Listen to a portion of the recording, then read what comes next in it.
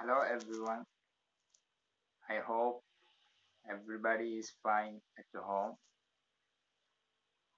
Today I post this video in our IELTS group. I want to sharing something about my learning experience with Yasir sir. I joined in this group three months ago. Then I practice with him. I usually watch his video in group. He posts practicing activities. I do that, but I don't talk anything in this group in that time because you know I had a fear to speak English in that time. I don't have enough confidence to speak English. Then, after two months, I just introduced in this group this confidence I have got from Yasir sir. Just introduce himself in his video. I'm Yasir. I'm from Puthanathani. I'm a teacher. I just introduce like this in our group.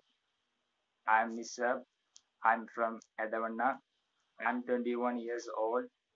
Then this below audio, I just decide in one month, in this one month, I decide to practice with Yasir based on his video. Then I practice it regularly for three weeks. This gives a very co- good confidence to me to speak to anyone. I practice while this practicing. When my friends put in some status, I just to reply to them in English. This will give another confidence. Then I heard about Yasu speaking course. Then I joined. 10 days complete today.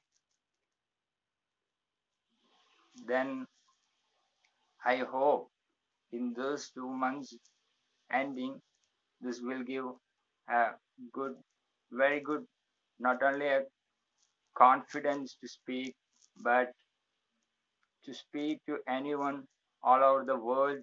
I believe in him. Then don't watching his video or don't watching his not only give me, but we want to practice. Along with practice, we can definitely improve in our language. Then along with Yasir uh, I'm very happy.